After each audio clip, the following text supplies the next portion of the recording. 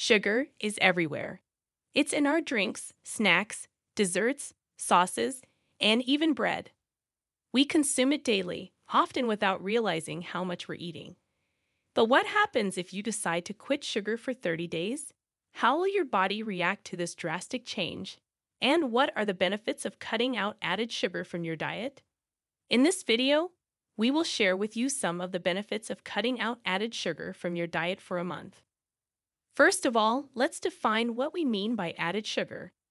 Added sugar is any sugar that is not naturally present in food, such as table sugar, honey, maple syrup, agave nectar, corn syrup, and other sweeteners.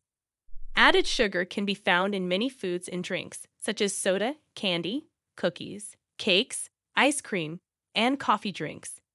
It does not include the natural sugars found in fruits, vegetables, dairy products, and whole grains. The American Heart Association recommends limiting added sugar intake to no more than 6 teaspoons or 25 grams per day for women and 9 teaspoons or 38 grams per day for men. However, the average American consumes about 17 teaspoons or 71 grams of added sugar per day, which is around three times the recommended amount.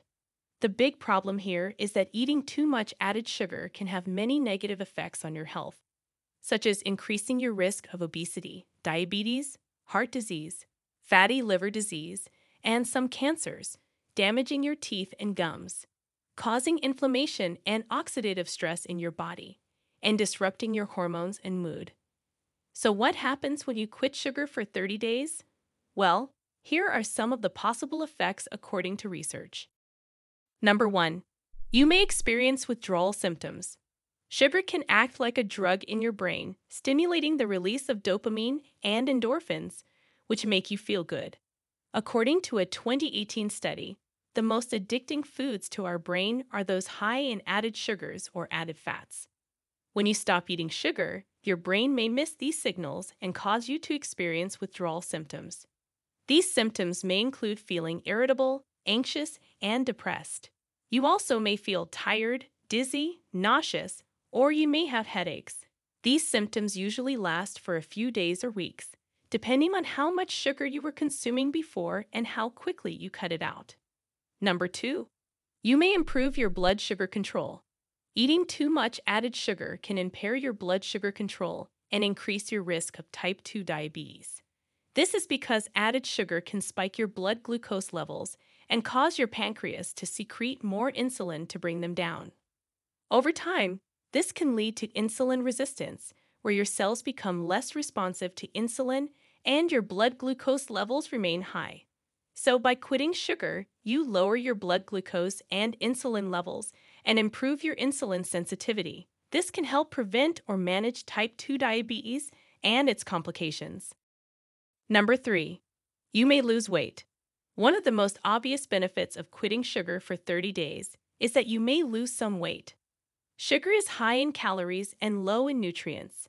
It also spikes your blood sugar levels, which can lead to insulin resistance and fat storage.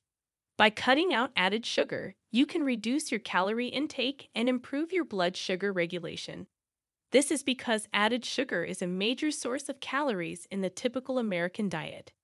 The average American consumes about 17 teaspoons of added sugar per day, which adds up to about 270 calories. By cutting out these calories from your diet, you may create a calorie deficit that leads to weight loss. Of course, this also depends on other factors, such as your overall calorie intake, physical activity level, metabolism, and genetics. Now, before we move on, if you find any of our videos helpful, Hit the like button, it really helps us. Now let's get back to the video. Number 4. You protect your liver health. You might be surprised to learn that sugar is not only bad for your teeth and waistline, but also for your liver. In fact, sugar is one of the main causes of non alcoholic fatty liver disease, which affects up to 30% of adults in many countries. Non alcoholic fatty liver disease is a condition where excess fat accumulates in the liver causing inflammation and scarring. This can lead to serious complications such as liver cancer and liver failure. This condition also increases the risk of cardiovascular disease, diabetes, and metabolic syndrome. So, how can sugar contribute to this disease? Well, sugar is composed of two simple sugars, glucose and fructose. Glucose can be used by most cells in the body for energy, but fructose can only be metabolized by the liver. When you consume too much sugar, especially in the form of added sugars in processed foods and beverages, your liver gets overloaded with fructose and converts it into fat. This fat then accumulates in the liver cells and causes non alcoholic fatty liver disease.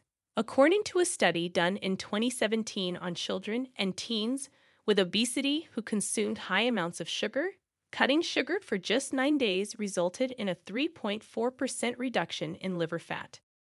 Number 5. You may lower your blood pressure and cholesterol levels. Another benefit of quitting sugar is that you may lower your blood pressure and cholesterol levels. High blood pressure and high cholesterol are risk factors for cardiovascular disease, such as heart attack and stroke. Many studies show that added sugar can contribute to high blood pressure and high cholesterol by increasing inflammation, oxidative stress, triglycerides, and uric acid in your body. By cutting out added sugar from your diet, you may reduce these harmful effects and protect your heart health. Number six, you may have better dental health. Sugar is one of the main causes of tooth decay and cavities. This is because sugar feeds the bacteria in your mouth that produce acids that erode your tooth enamel. The more often you eat or drink sugary foods or beverages, the more damage you cause to your teeth. By quitting sugar, you may prevent or reduce tooth decay and cavities by depriving the bacteria of their food source. You may also have fresher breath and less plaque buildup on your teeth. Number 7. You may have better skin health. Sugar can cause a process called glycation, which damages the proteins that keep your skin firm and elastic. Glycation is a chemical reaction where excess sugar in the blood or body binds to proteins or nucleic acids in the skin, forming advanced glycation end products. Glycation damages collagen and elastin, which are the proteins that keep skin firm and elastic. Damaging these two proteins can cause skin aging signs like wrinkles, age spots, skin thinning, and inflammation. Also, as you may know, sugar is linked to acne breakouts. One of the ways sugar can lead to acne is by triggering inflammation in your body. Inflammation is a natural response to injury, infection, or stress but too much of it can be harmful. Inflammation can damage your skin cells, deplete your antioxidants, and increase your sebum production, all of which can lead to clogged pores and acne breakouts. So, these were the health benefits of quitting sugar. But let us know what you think. Will you quit sugar? What is the hardest thing for you about quitting sugar? Let us know in the comments below.